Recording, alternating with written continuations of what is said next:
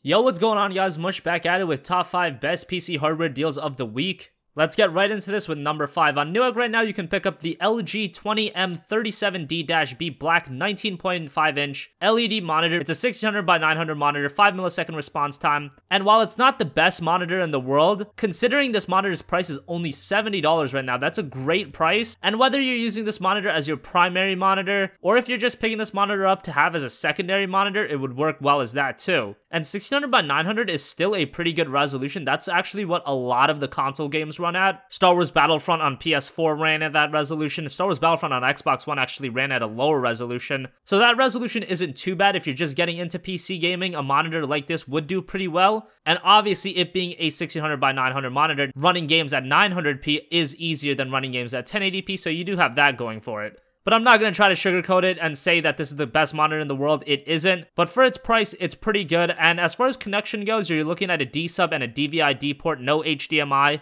But as a budget monitor, I think some of you guys would like to pick this up. Number 4 is a repeat from last week. It looks like this deal is going in and out. Right now, you can pick up the G.Skill Ripjaw Series 8GB, two 4GB sticks for $30 on Newegg. Right now, this is a Shell Shocker deal, which is kind of like their flash deals. So if you're looking for 8GB of RAM and you want it for $30, I would pick this up on Newegg ASAP. $30 is the lowest that I think it's gonna go. Maybe it'll go down to $25. I don't know. But 8 gigabytes of RAM for $30 is a fantastic deal. And this deal has been going in and out. Some days it'll be available, some days it won't. So if you don't pick it up now, chances are in a week or two, you'll probably find another 8 gigabyte kit of RAM for $30. But when it is available, I do like to give it a mention in these videos because that's just a ridiculous deal for 8 gigs of RAM. And 8 gigs of RAM is still the optimal amount to have in a gaming PC even with the latest games like Star Wars Battlefront, The Witcher 3, Dying Light, all of them work great with 8GB of RAM, so the fact that it's $30 is really, really great. Next on Amazon right now, I personally don't think this is a fantastic deal, but you can get the Intel Core i5 6600K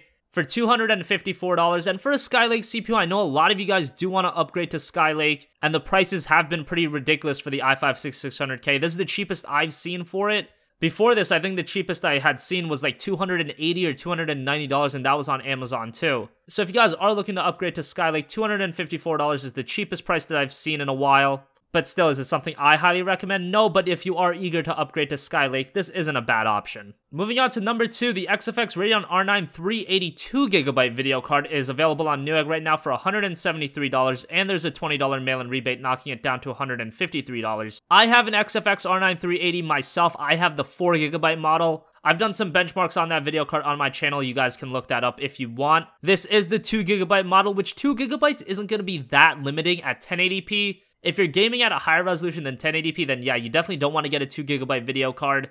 But considering that it is $153 after the mail-in rebate, it's a really good price. And yes, while having only 2GB of video buffer is going to scare off some people, I still think this is a pretty good deal on a very capable 1080p video card. The games I was playing, I was getting great frame rates on games like Grand Theft Auto 5, Metro Last Light, The Witcher 3. Like I said, you guys can look up those videos on my channel, but games were running really, really well with this video card. So for $153, yes, it's the 2GB model, but for that kind of a price, you really can't complain, and it is a pretty good deal. Finally, also on Newegg, we got the XFX Radeon R7 360 2GB video card. It's $100, and then there's a $20 mail-in rebate, knocking it down to $80. Wow, that's a really good price on a pretty capable video card. I know a lot of you guys might think the R7 360 really can't hang, but on a game like Fallout 4, you can still play that game with this video card at medium settings, and that is console-like gameplay, and considering this is an $80 video card, that's a really good price. Yeah, are you going to be able to max out games like Witcher 3? No, but for an $80 video card, you probably aren't expecting to do that anyway. If you're playing games like League of Legends, World of Warcraft, and you just want to dabble into some higher end games as well, this is a very good option, and this is the kind of GPU where you can just put it in a HP or a Dell computer. Maybe you'll have to upgrade the power supply, but that's it. And for an $80 price tag, that's really freaking good. So guys, that's going to wrap up this countdown for the top 5 PC hardware deals of the week. Let me know in the comment section down below if you guys pick any of these up. And also let me know your guys' requests for future videos. As always, guys, have a great day. Peace out.